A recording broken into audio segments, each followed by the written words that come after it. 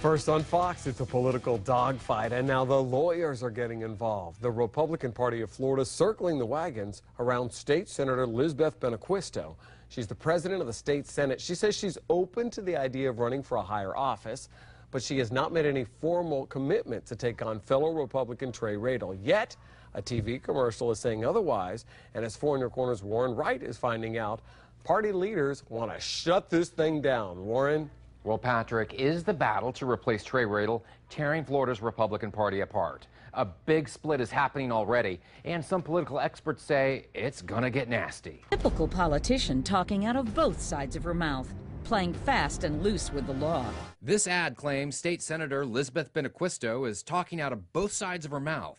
A well funded political action committee is blanketing local airwaves. Running for Congress, pretending to run for re election to the Florida Senate. Local political pundits, like political science professor Peter Bergerson from FGCU, says he's struck by the personal tone of the commercial. It's really hardball politics. Now, the Republican Party of Florida is issuing this letter to local TV stations. Their attorney states the video contains false information and allegations, saying it's patently false because Benacquisto has not filed for Congress.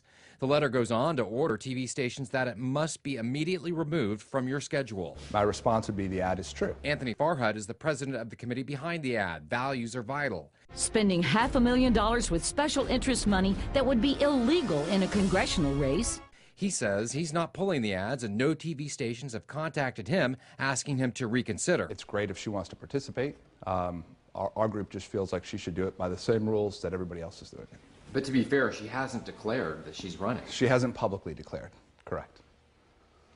But I think it's pretty I think it's pretty clear what the intentions are. After reviewing the cease and desist letter from the Republican Party of Florida, Dr. Bergerson says it's clear the establishment wants to protect Benacquisto at any cost. I, I see a, a, a real uh, a political dogfight that uh, if this is the opening round, uh, it, it's going to get worse.